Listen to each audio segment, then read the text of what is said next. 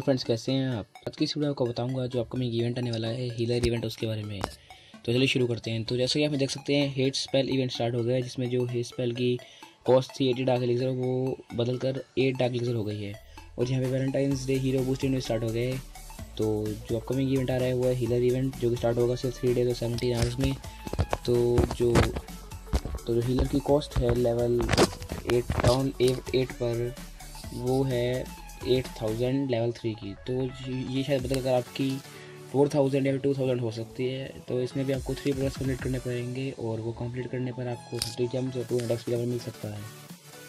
तो एक तरह से काफ़ी अच्छा इवेंट है ये भी सीओसी की तरफ़ से, क्योंकि इससे हमें जेम्स फ्री में मिल रहे हैं, क्योंकि हम वैसे भी ट्रूप स्ट्रेन करते रहते हैं और ये करने से हमें जेम्स फ्री में मिल रहे हैं। तो एक तरह से काफ़ी फ्री जेम का ये अच्छा तरीका है।